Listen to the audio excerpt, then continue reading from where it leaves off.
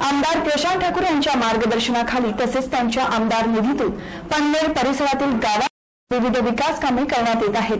या अंतर्गत शांतीवन येथील रस्त्याचे विकास कामांचं भूमिपूजन शुक्रवारी करण्यात आलं. जिल्हा परिषद पक्षप्रतोद राजेंद्र पाटील पनवेल शहराध्यक्ष चंद्र पाटील यांच्या हस्ते या रस्त्यांचं भूमिपूजन झालंय. कार्यतत्पर आमदार प्रशांत ठाकूर यांच्या मार्गदर्शनाखाली तसेच त्यांच्या आमदार निधीतून पनवेल परिसरातील गावांमध्ये विविध विकास कामे करण्यात येत आहेत.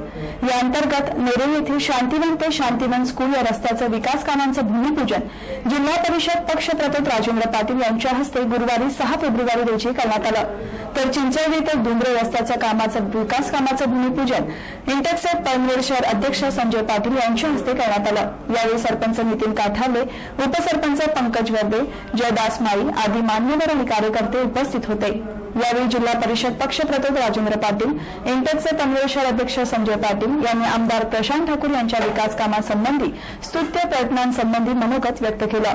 तालुक्यामध्ये जो पनवेल तालुक्याचा जो विकास खुंटला होता त्या विकासाला गती आणि चालना देण्याचं काम केलेलं आहे.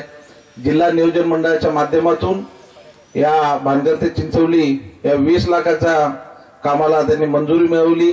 आणि निश्चितच आज त्याचं भूमिपूजन होत आहे. त्याचबरोबरीने शांतवेळा अंतर्गत रस्ता हा दहा लाखाचा निधी म्हणजे एकूण याच्या या दोन्ही कामामध्ये तीस लाखाचा निधी देण्याचं काम आदरणीय प्रशांतदादा ठाकूर साहेबांनी डीपीडीसीच्या माध्यमातून केलेलं आहे. सरकारी पक्षाचा आमदार असल्यानंतर कशा प्रकारचा निधी आणि कोणते कोणते हेड आणले जातात याचा निश्चित आपण सर्वजण प्रत्यय पाहत आहात.